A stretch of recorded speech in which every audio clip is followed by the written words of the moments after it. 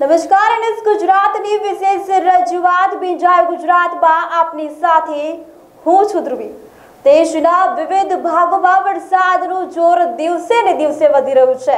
ગુજરાત રાજ્યમાં વર્ષે મેઘરાજા મન મૂકીને વરસ્યા છે અને અત્યાર સુધી સાડત્રીસ પોઈન્ટ પાંચ ઇંચ સાથે મોસમનો એકસો ને તેર પોઈન્ટ છવ્વીસ ટકા વરસાદ નોંધાઈ ચૂક્યો છે.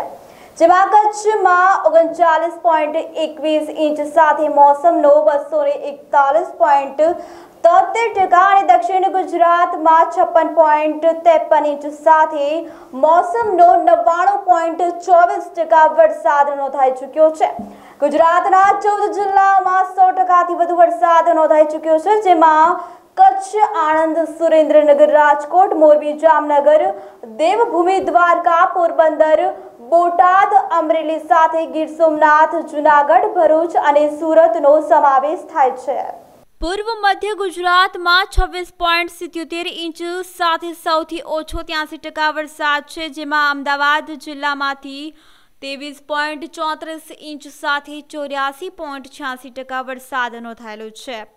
સૌરાષ્ટ્રના દસ જિલ્લાઓમાં સો ટકાથી વધુ વરસાદ છે ને એકમાત્ર ભાવનગર જેવો જિલ્લો છે જ્યાં હાલ ચોરાણું પોઈન્ટ આઠ ટકા વરસાદ નોંધાયો છે. ગુજરાતમાં સિઝનનો સો ટકાથી પણ વધુ વરસાદ નોંધાયો હોય તેવું સતત બીજા વર્ષે બન્યું છે.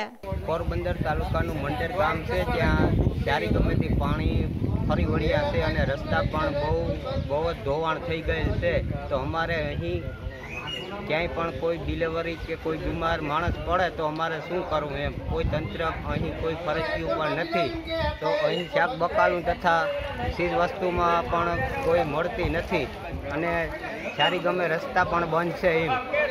કદાચ અમારે સરકારી દવાખાનું હોત તો પણ અમારે કોઈ દર્દીને અમે ત્યાં લઈ જાત, પણ અત્યારે કોઈ સુવિધા નથી એમ. હજુ આગામી બે દિવસ વરસાદનું પ્રભુત્વ રહે તેની પૂરી સંભાવના છે. હવામાન વિભાગે જણાવ્યું છે કે પશ્ચિમ મધ્યપ્રદેશ અને સંલગ્ન પૂર્વ રાજસ્થાનમાં લો પ્રેશર સર્જાયું છે, જેના પગલે આગામી બે દિવસ દરમિયાન ગુજરાતના અનેક જિલ્લાઓમાં ભારેથી અતિભારે વરસાદ પડી શકે છે.